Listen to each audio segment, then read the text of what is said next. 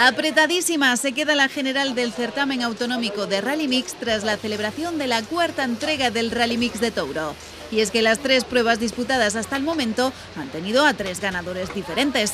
En la provincia de Urense vencía Abel Jurado, en la de Pontevedra Alexis Vieitez y en tierras coruñesas Javier Ramiro.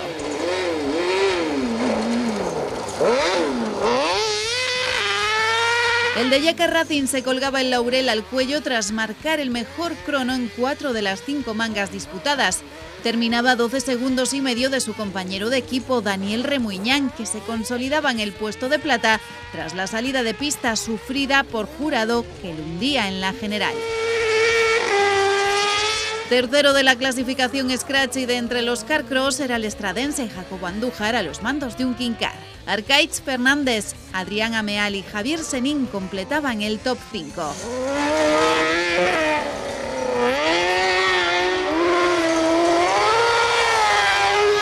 Pablo González se quedaba con la séptima plaza. David Seoane con la octava. Y Javi Martínez Carracedo con la novena. El puesto número 10 de la tabla lo cerraba el piloto local David González. Oh,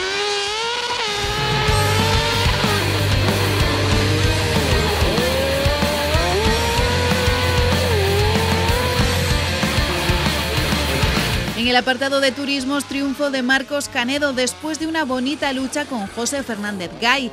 El del Polo R5 intentó superar por todos los medios al del 208 N5, pero en su afán por superarle cometió varios errores. El último le costaba el abandono de la carrera.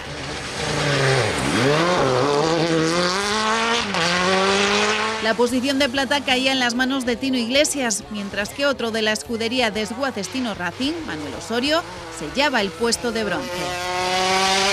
César Garabatos y Álvaro Rodríguez eran cuarto y quinto.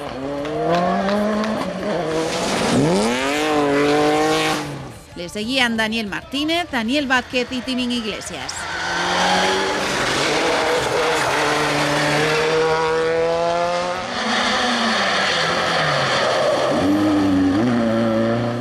Top 10 lo completaban Esteban Cotón y Fran Avalo.